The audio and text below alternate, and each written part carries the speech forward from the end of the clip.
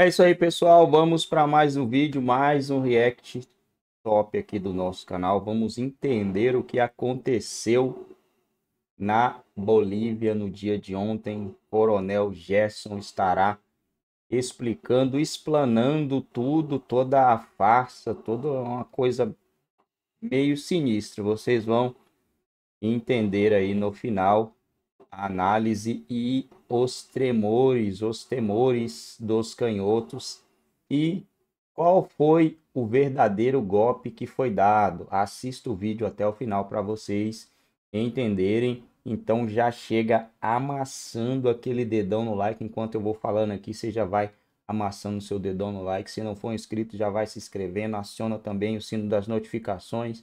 E comenta aí de onde vocês estão nos assistindo. Comenta também ao final o que vocês acharam do vídeo, o que vocês acharam do teatro que aconteceu ontem também. A Rede Globo deve estar tá enlouquecida com uma notícia dessa, né? Os caras devem estar. Tá... Seja muito bem-vindo. Pois é, né, Paulo? A gente, quando pensa que está tudo mais ou menos certo, que a gente pode colocar os olhares lá no Gilmar Palusa, você me sai com essa aí da Bolívia, né? Pô, a gente estava ontem à noite, eu estava eu tava já no modo relax, os caras me resolvem fazer um golpe fajuto, desfazer o golpe, o presidente da extrema-direita se posicionando contra o golpe. Fiquei muito confuso. Gerson, você é um cara que conhece muito de política da América Latina, é meu guru, já, já teve em vários desses lugares, é, inclusive em missão, conhece, estuda a fundo. Eu queria que você me explicasse explicasse para o pessoal da audiência, primeiro, qual o cenário político na Bolívia? Vamos lá, então é importante a gente olhar para essas imagens que você colocou, trazendo primeiro alguns, algumas sinalizações, né? Que você fez essa obviamente, essa comparação jocosa com o nosso golpe do Brasil, né, né lá em Brasília, mas você vê que essas imagens que você está mostrando, é, esse aí não é o palácio presidencial que está funcionando. Esse é ah. é o antigo. Então, essa encenação foi interessante porque o presidente ele estava trabalhando no outro palácio, que fica um pouco distante. É bem próximo, mas não é aí. Bom, no entanto, foi feito toda essa essa invasão e tal, polícia. E o mais estranho ainda é que eu fiz o contato com alguns amigos também de lá e eles me falaram o seguinte: Gerson, todas as tropas foram chamadas ali para o local, mas sem munição real. O pessoal estava com munição de controle de distúrbio, gás lacrimogênio, ou seja, você faz um golpe de Estado com armamento não letal. Quer dizer, tá estranho. Depois, ainda mais esquisito ainda, é o fato de que o presidente que estava em segurança no outro prédio lá, ele se desloca para ir para esse mesmo local para receber os golpistas, né? E aí fala, aí tem toda uma parte que você depois é, pode provocar. Mas vamos à sua, é, à sua solicitação do contexto. É, eu, eu fico muito confuso, Gerson, porque é, é uma história um pouco sugênis. Você tem, é, você tinha o Evo Morales depois você teve toda aquela confusão nas eleições, com problemas com observadores internacionais, questão, é, não vou falar aqui a palavra mágica, mas uma eleição pouco transparente com a vitória da esquerda. Depois você teve uma prisão é, da presidente, é, e, e, agora que está, inclusive, falando no Twitter que não apoia é, esse, esse golpe. E, no entanto, eu estou vendo na Globo News que há uma articulação da extrema-direita global para derrubar a esquerda, etc. Eu, eu fiquei confuso. Você pode explicar o cenário político é, da, da Bolívia para a gente? Que eu sei que você conhece.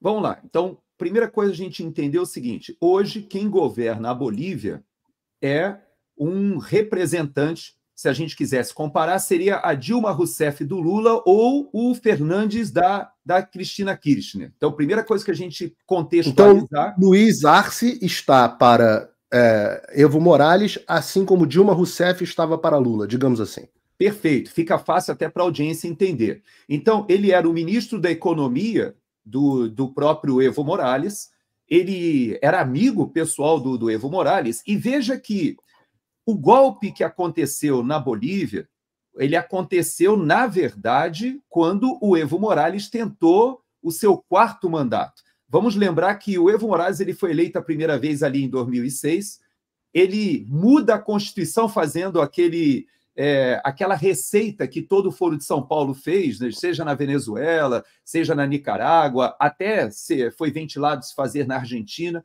E cada país tentou fazer a mesma coisa. No Equador foi feito, no Peru. No próprio Brasil houve essa discussão de, de, de, de aumentar, o, acabar com o limite de mandato, né?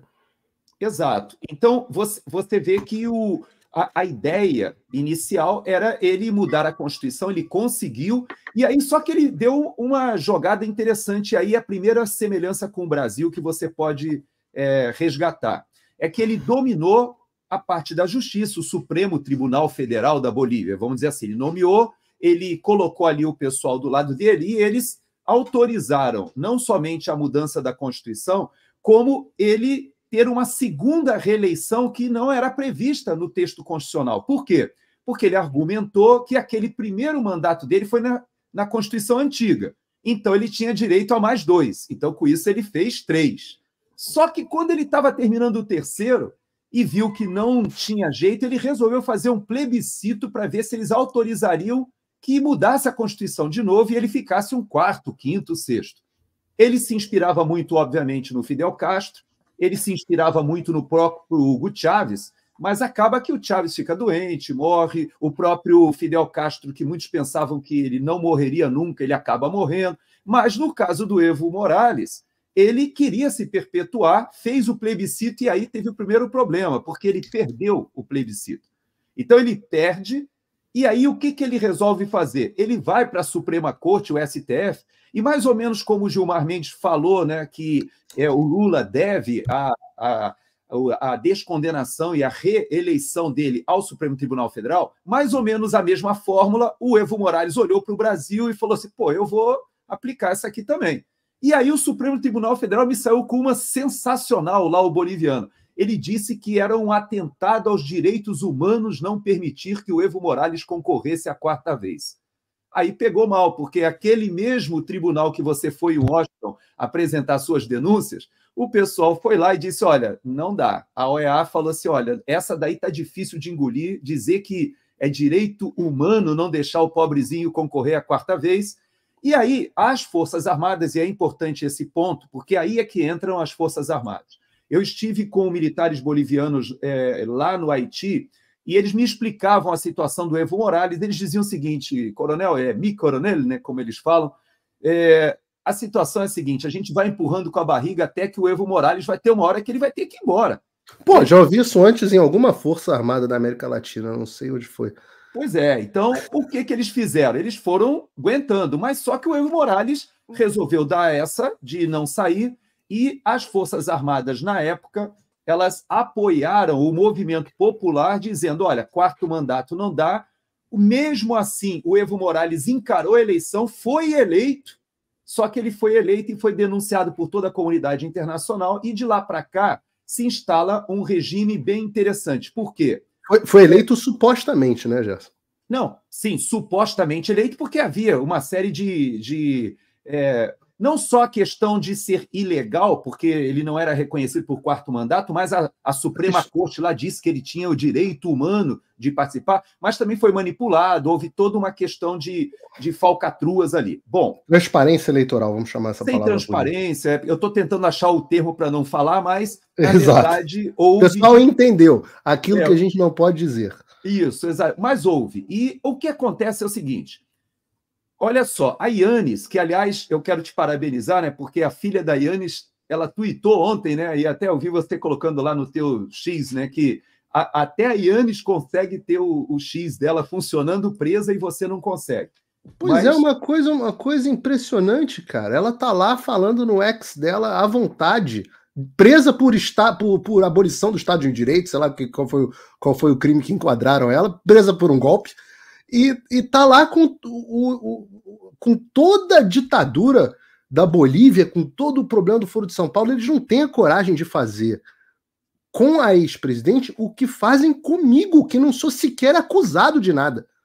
É, e não somente ela, o Camacho também. Se você olhar o governador, Exato, você, você vê que não só a ex-presidente, quanto o governador, que também está preso, ambos é, foram presos com o retorno do Evo Morales. Veja que, voltando ali naquele momento, a população se rebela, há um grande movimento, E o Evo Morales ele acaba fugindo para o México, depois ele vai para a Argentina.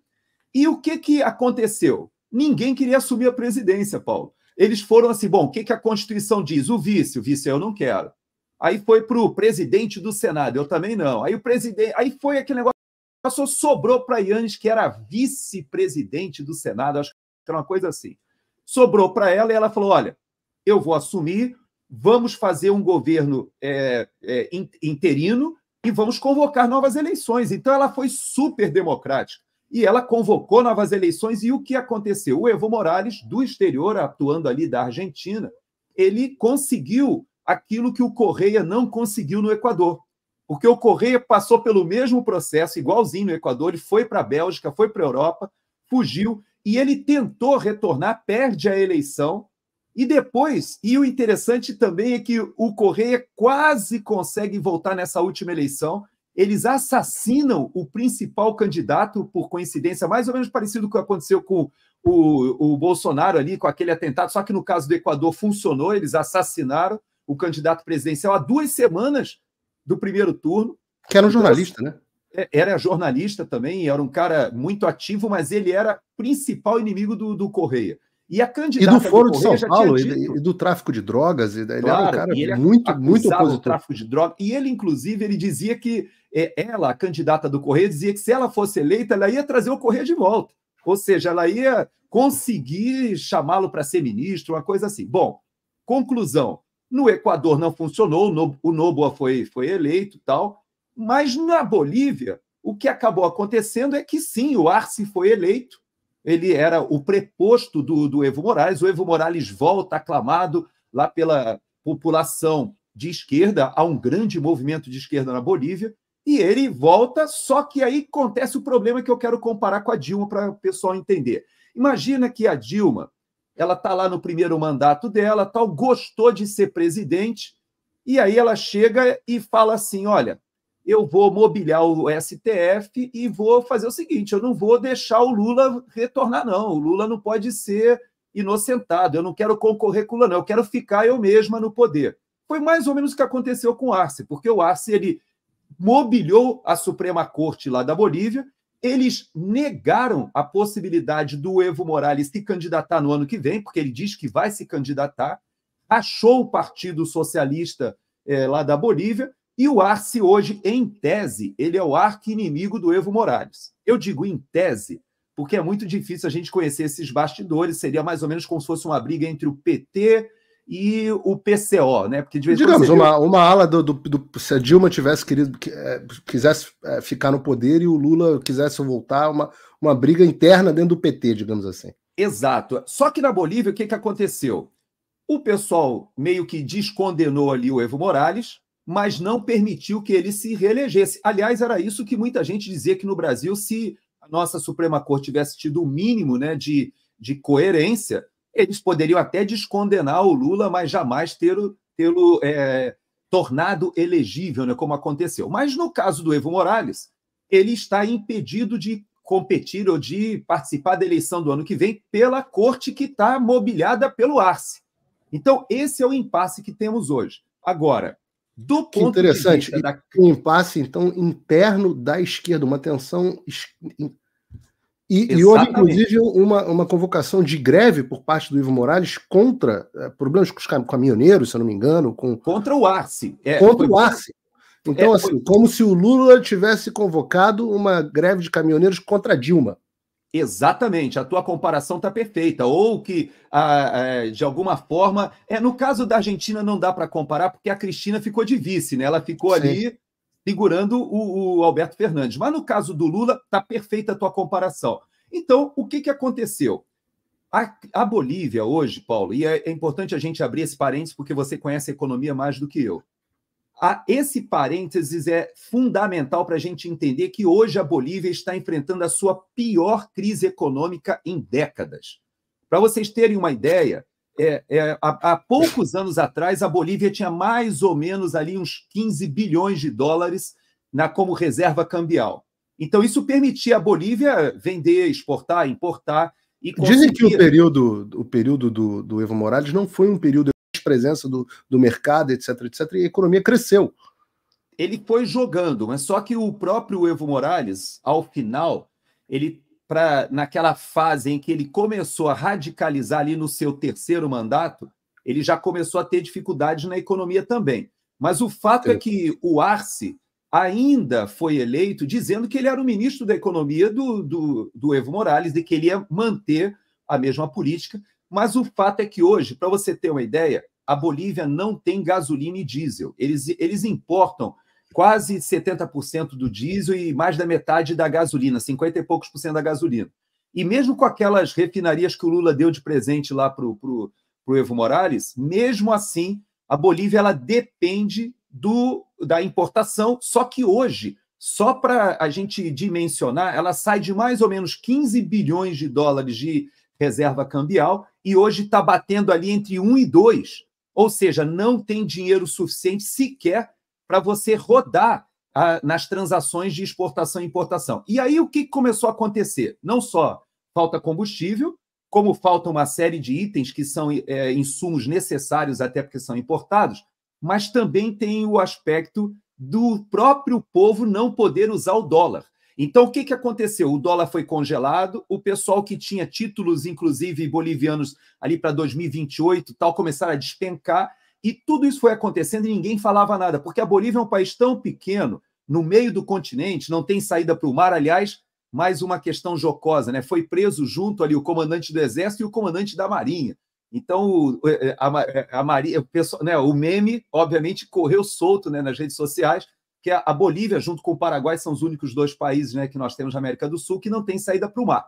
Mas aí, fechado esse pequeno parênteses jocoso, o que aconteceu foi que a Bolívia hoje ela tem um presidente com 20 e poucos por cento só de apoio popular, com seu arqui-inimigo que divide o Partido Socialista conspirando contra ele, mobilizando, inclusive, os sindicatos dos cocaleiros. E eu, não podemos esquecer que o Evo Morales foi o primeiro presidente indígena né, da Bolívia, ele tem um apelo, um, uma, uma, uma, ligação né, muito grande com o movimento indígena né, na Bolívia, que tem nada a ver com o movimento indígena de outros países, porque o indígena na Bolívia ele é aculturado, ele, ele de fato está inserido na sociedade, e ele faz esse movimento para mobilizar o país em greves e bloqueando estradas contra o Arce. Então, é nesse contexto que acontece esse pseudo-golpe.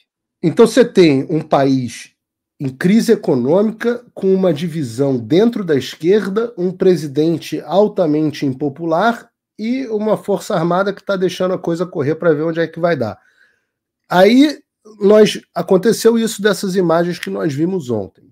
Imediatamente a gente espera que fala assim, bom, se o golpe é da extrema direita, a gente vai ter um posicionamento das pessoas da extrema direita é, em, em, favor, ou, né, eles prometeram que iam restaurar a democracia, que iam soltar as pessoas e tudo mais, e no final das contas a gente teve uma posição completamente diferente, como a gente falou, da ex-presidente, dizendo, olha, é, a, tá aqui a notícia, a manifestação dela, ela diz que era, era contra, repudio total a mobilização, repúdio total a mobilização de militares na Praça Murilo com o objetivo de destruir a ordem constitucional. O MAS, Movimento ao Socialismo, partido governista, com Arce e Ivo, ela coloca os dois no mesmo saco, deve ser retirado por meio do voto em 2025. Os bolivianos defenderemos a democracia. Eu fico sempre curioso, porque pô, se, se ela se a, a, história é que roubaram a eleição na Bolívia, ela acredita que vai resolver a questão através do voto, bom, tudo bem, cada um acredita no que quiser. Mas o fato é que ela se manifesta contra. Daí vem a questão do general que é, que, que o, o Zuniga que come, dá a seguinte declaração. Crítica esta semana Entonces es necesario preparar algo para levantar mi popularidad. É, então, essa semana vai ser crítica, é necessário algo para levantar a minha popularidade. A camioneta, traz a camioneta. Não é necessário, eu me voy, Não, não, você vai comigo, você vai comigo. Por isso veniu. general, por favor. Então me dice, e le pergunto, sa, sa, sa, sacamos os blindados? Me... Então me perguntou, trazemos os blindados? Para cá. Para cá? Lunes, na segunda, domingo, domingo, na noite, ya los blindados empiezan a bajar. Seis cascabeles e seis urutus. Brasileiros. Não, inclusive brasileiros, né? Cascavéis e urutus são vocês, vocês é, do essa é geração mais antiga, foi a geração que eu recebi lá na década de 80 e que já, já foram, inclusive, é, doados até para a Bolívia, foi nem vendidos, foi doado. Pô, coitados bolivianos, vocês estão aceitando as nossas doações da década de 80, a situação tá feia lá. Más 14 Z de las, del regimiento de Achacacho. ¿Ya? Achacacho. Entonces. Mas ele faz a declaração, vou botar aqui desde o início essa parte aqui. El presidente me dijo, O presidente me disse: a situação está muito rodida. Que eu, eu meu, meu espanhol não é muito bom, mas eu entendi que a situação está muito fodida. Foi isso que eu entendi. É mais ou menos isso mesmo. Semana. Mas, mas você vê que é, essa imagem que já rodou o mundo todo, ela tem muito a ver com as explicações. Você veja que nós tivemos no Instituto é, Interamericano, né, pela, que é, nós dois frequentamos aqui em Miami, né? E eu vi justamente a declaração do presidente do Instituto, que foi ministro da Defesa da Bolívia. Então, é alguém que conhece muito a situação da Bolívia. E ele estava justamente falando logo no início, ele dizendo: olha, isso tudo é um teatro, porque a ditadura é, na Bolívia ela é uma ditadura, e ele faz questão de lembrar disso, que pouca gente fala da ditadura da Bolívia. Muito se fala da ditadura da Nicarágua, da Venezuela, de Cuba, e pouca gente fala que, na verdade, desde que o Evo Morales retornou, ele prendeu a ex-presidente, que foi uma pessoa super democrática e honesta, porque, inclusive, poderia ter feito alguma armação para ficar no poder e não fez. Ele manda prender o governador do principal estado do país, o mais rico, que é, inclusive, o que faz fronteira com o Brasil, porque era um opositor político. E hoje tem um monte de presos políticos na, na Bolívia.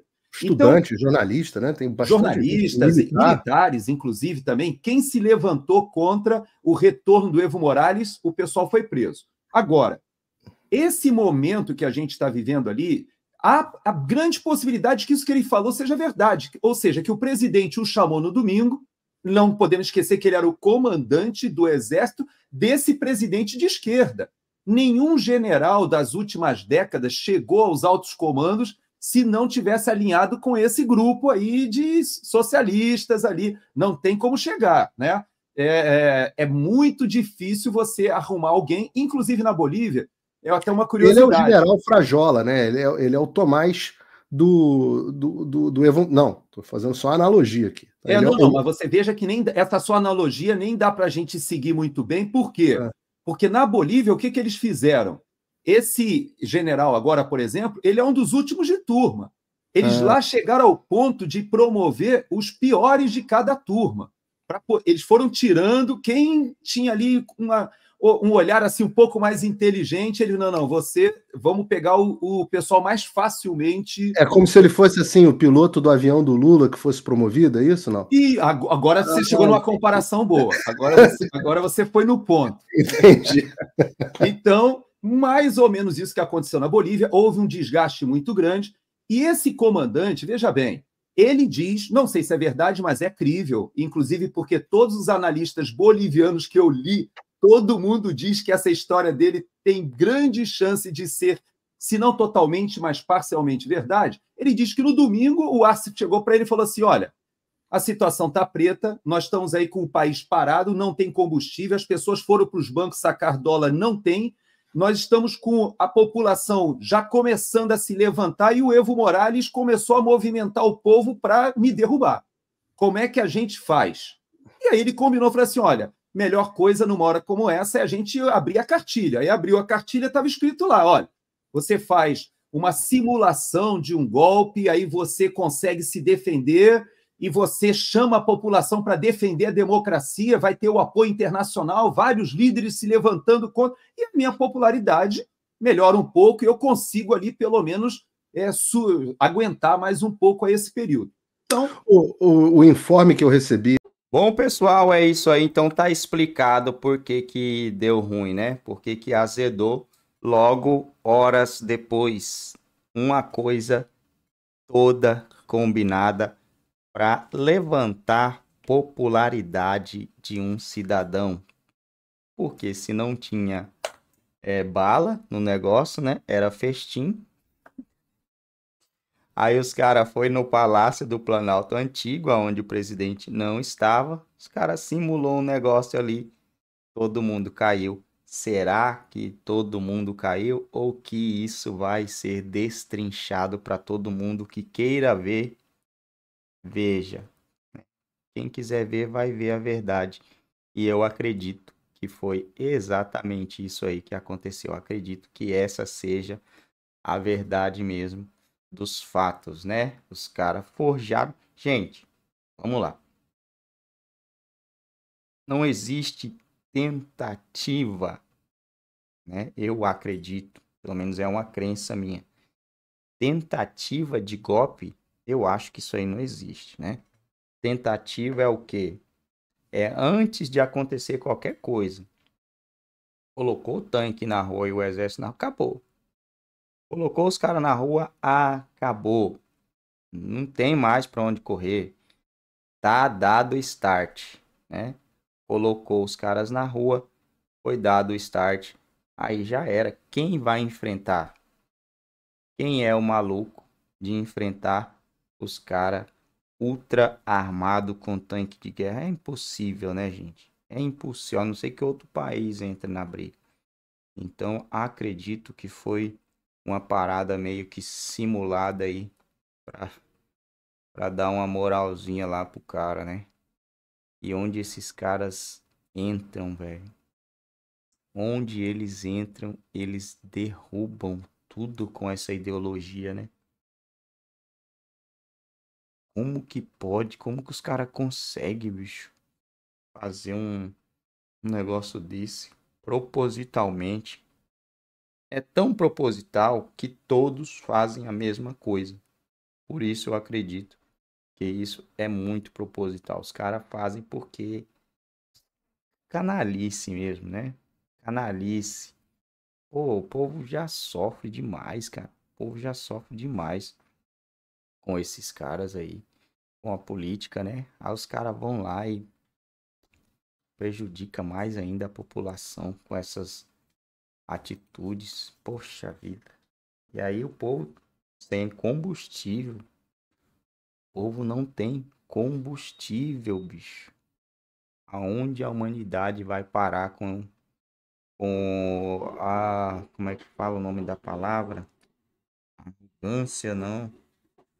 A soberba de uma única pessoa, gana pelo poder. A gana pelo poder, os caras faz centenas e milhares de pessoas sofrerem as consequências de uma pessoa irresponsável, né? E aí ele faz ali, monta, os caras montam uma quadrilha, porque sozinho ele não consegue, precisa montar essa quadrilha, né? Monta ali todo mundo, ajunta no time dele. Mera coincidência. É só coincidência. Não, não, é, não é outra coisa, tá, pessoal? É só coincidência. Coincidências acontecem. Se você. Mas aqui. Não. Não existe isso. É coincidência. Não espelharam. Até porque eles, assim como eu também, né? não tem a capacidade de criar algo novo, é só copiar. Pera aí, vou copiar o que deu certo ali. Se deu certo lá, a tendência é que dá certo cá. E dando certo cá, que deu certo lá, a gente tá no meio disso aí. Só que foi avisado. Foi avisado, Bolsonaro avisou, Bolsonaro, Paulo Guedes falou, gente, o que vocês vão fazer, Gente, depois não vai mais dar tempo, vai ser tarde. Gente, e se tomara a Deus que não chegue a esse. Mas se chegar e eu ver alguém do L na minha frente, nossa, eu não quero nem, nem conversa, nem papo, gente. nem. Porque aí ele vai vir. Vocês têm razão, bolsonarista. Eu não quero ouvir isso, né? Eu não vou querer ouvir isso. Tomara que a gente não chegue, tomara que algo seja feito antes, porque nós estamos caminhando de passos largos a isso. Infelizmente, estamos caminhando de passos largos a isso. Tava vendo o tal do Mendes falando lá que os Estados Unidos não têm poder sobre nada aqui no Brasil, né? Sobre questão de, de judiciário e parlamento. Realmente não tem. Só que o poder que esses outros países têm, que outro país tem, eles ele é quase pior que isso, né? Ele pode não ter o poder sobre, mas o poder que ele tem é quase pior. Ó, tal fulano bateu o pé aqui, cadeia nele. Sanciona tudo. Se tem imóveis aqui, se tem doletas aqui, bloqueia. É, é assim. Eles não têm poder, realmente. Mas, ah, é, tal fulano tá errado. Não, isso é se não vale nada, é bandido, tá fazendo coisa errada, aqui ele não bate o pé. Bateu o pé aqui, tomou. Né? É assim que funciona. Porque aí você vai estar tá dentro da jurisdição do outro país, não do seu mais. Tem bens aqui, tchau, não tem mais. Tinha, né? Tinha, não tem mais. E se ele acha, ah, eles não têm, tem poder, tem poder, né? E é os stakes, gente. Não é qualquer país, é os stakes. Estão subestimando ou estão querendo jogar narrativa, plantar narrativa para jogar para os seus, né? Mas que eles têm um poder gigantesco, influenciador, né? Eles não podem chegar aqui, pegar uma pessoa e obrigar ela a fazer X ou Y ou prender ela. Isso aí eles não têm. Mas o poder de sanção, isso tem.